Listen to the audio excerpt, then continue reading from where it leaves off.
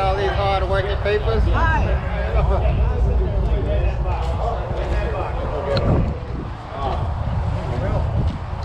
right, hurry up because I want to get these bikes in line over here.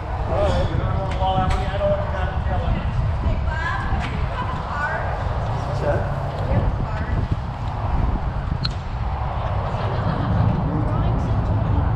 Bill. How's it going? Morning, man. All right.